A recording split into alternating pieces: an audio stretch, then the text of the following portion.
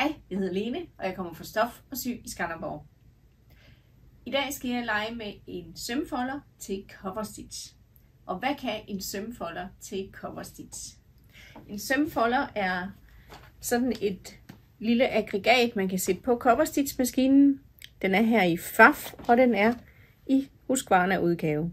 Den passer til i FAF Coverlock 3.0 og 4.0 og Admire 7000 og i Husqvarna passer den til Husky Lock S25 og S21 og Amber Air 600. Og samtidig passer den også til Singer 14T970. Det den kan, det er, at den kan lave nogle flotte oplægninger. Cover Stitch laver jo sådan to stikninger på retsiden og lukket af på bagsiden. Og med sømfolderen får vi en fuld stændig, jævn kant, samme afstand hele tiden, og den folder sådan, at vi lige præcis lukker hen over travlekanten. Så den giver os et godt styr at lægge op med, og det er de her cirka 2,5 cm, man lægger op med. Det, der ligger i æsken, er en fin lille vejledning med mest billeder og ikke så meget tekst, så den er forholdsvis nem at følge.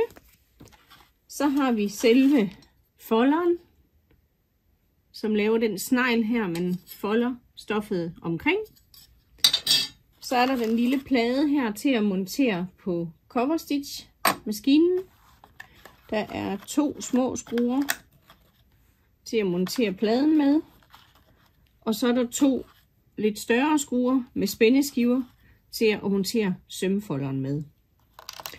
Hvis du i forvejen har en tape binder, denne her, og kan montere den, så passer denne her også til din maskine. Det er den samme plade, man monterer med, som man bruger til tape binderen.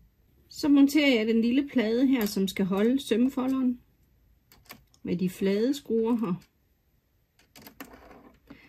Og man har muligheden for at justere frem og tilbage i maskinen. Og det har lidt med stoftypen at gøre. Hvis det for eksempel er en meget levende viskose jersey, så skal man så tæt på som muligt. Der skal ikke være for meget plads imellem stoffet slipper sømmefolderen, til den kommer ind under nålen.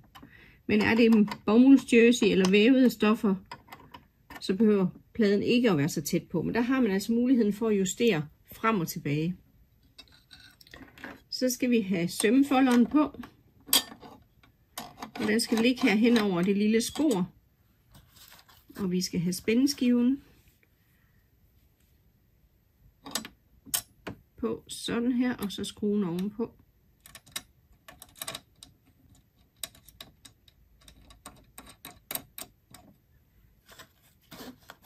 Og her får vi så muligheden for at justere fra højre til venstre. Og det har noget med stoffets tykkelse at gøre. Han anbefaler let til mellemkraftige stoffer, uanset om det er vævet eller strækstoffer. Og der går jeg ind og kigger på, hernede har vi en, en snegl her. Der kommer den yderste kant af undersiden af folden til at ligge.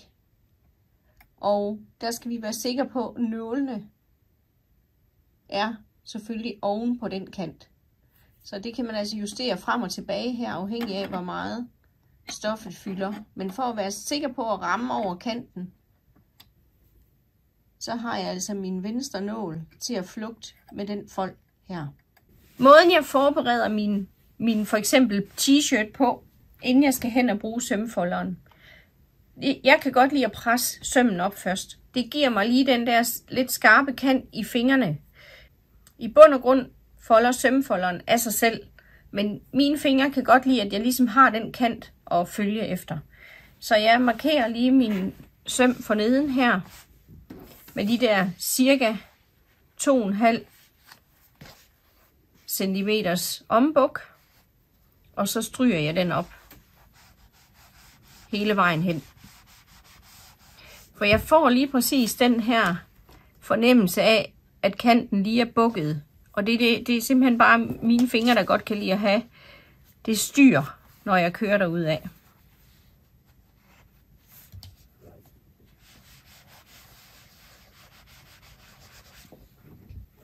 Og med strygelinjalen her, der er der ingen problemer i at bruge linealen samtidig med, at jeg presser, den kan tåle varmen. Når jeg så for eksempel kommer til en søm, så for at lave overgangen så let som muligt for coverstitchen at komme over, jamen så klipper jeg lige et lille hak her ved de 2,5 cm.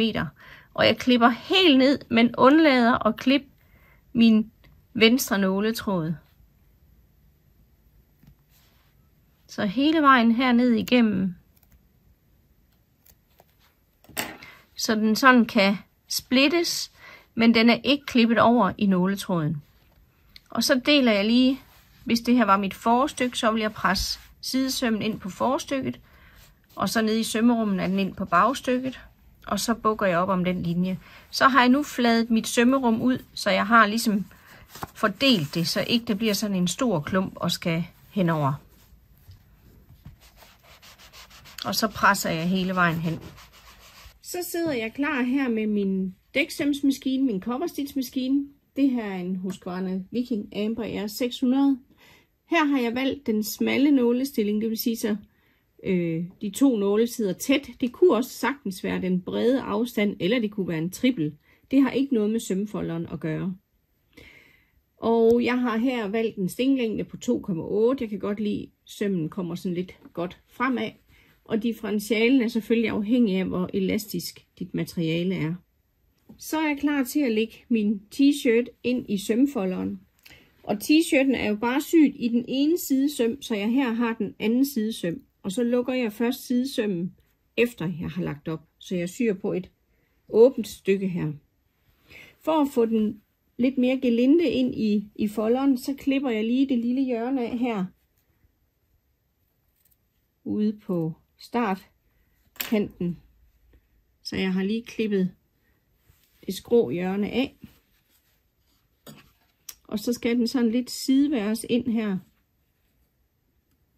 Sådan her. Og det jeg skal fornemme nu, det er, at den følger fuldstændig glat. Der er ikke noget, der begynder at vride for hinanden og køre skæv. Jeg har gang i min lille sutteklud her, så jeg er sikker på, at min søm er startet ordentligt op her. Og så skubber jeg opsømmen hen lige og løfter trykfoden, så jeg får den ind under her.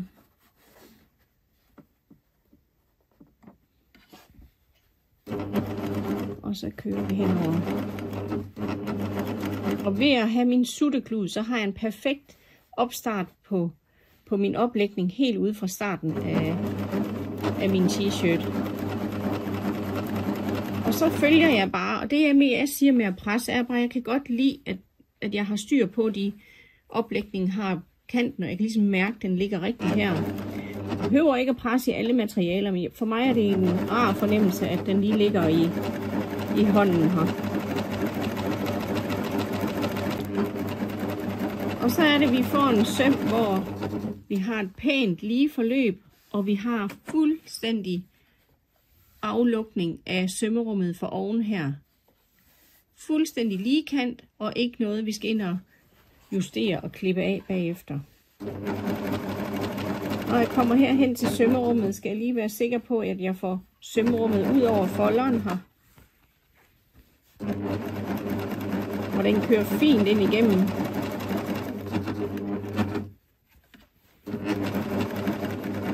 Har man noget meget levende stof, jeg kunne forestille mig i viskose jersey, kunne jeg godt finde på at stikke et stykke øh, riveflisline ind under lige her ved sømmen, hvis man føler, man har svært ved at komme hen over en søm i nogle stoffer.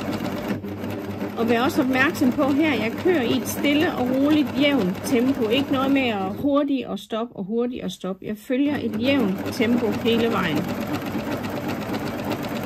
Så kommer vi hen til enden. Jeg fanger lige min sutteklud.